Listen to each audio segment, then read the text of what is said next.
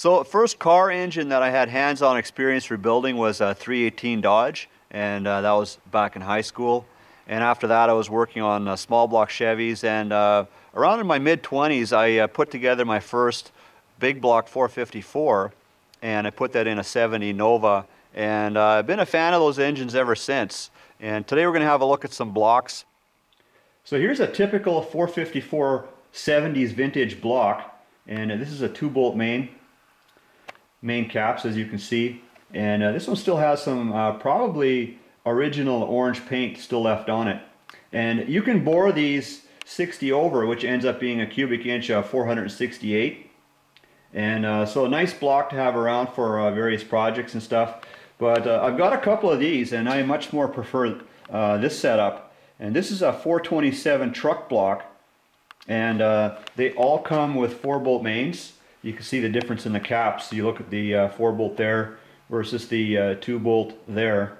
These also have thicker cylinders on them so you can bore them 100 and uh, that's pretty much about max though.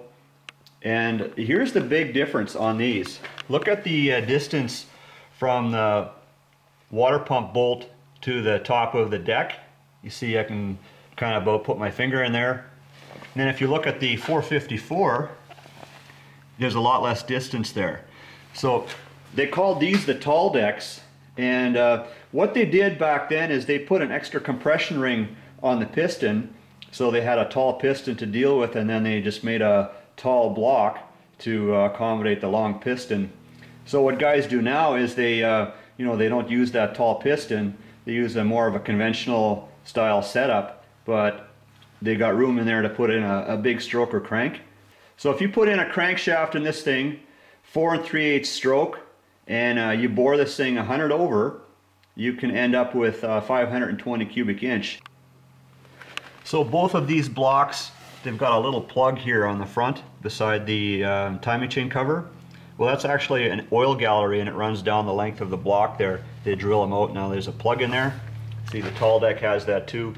So you got to be careful if you put a, a crank in there that's uh, like really ginormous and you do a lot of clearancing for those rods and uh, all of a sudden you gotta you know you gotta be careful you don't all of a sudden clearance your way into that oil gallery. So that's where the aftermarket blocks are nice. They move that oil gallery uh, up and along beside the camshaft and uh, so they no longer have it there and then you have room to do a lot of extra clearancing there. Typically though the aftermarket blocks they come clearanced you know, for uh, big stroker cranks like the uh, this this 598 here. That one I built from scratch, and that one has the oil gallery up alongside the uh, camshaft there. These blocks, they also have a water jacket between the cylinders right here. Like if you cut them in half, you would see that the cylinders aren't actually joining. But on my, uh, my big M block, on that 598, that one has Siamese bores but I mean, those cylinders are so big, that's a 4.6 bore. One thing though on these tall decks, sometimes uh, on a project like this, the headers won't fit the vehicle because now you've got the head sitting 0.4 of an inch higher than it normally would be.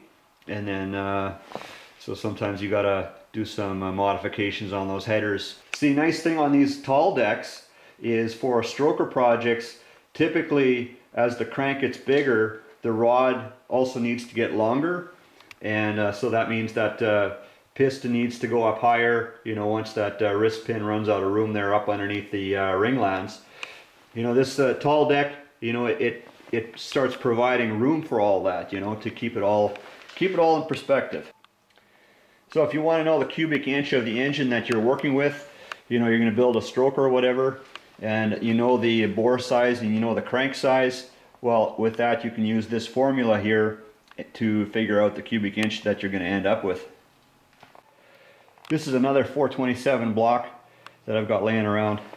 So guys, I just sort of had the itch to uh, make a video on these uh, blocks and uh, so I got out the camera and uh, this was the result but uh, so anyways guys thanks for uh, checking in and we'll talk to you again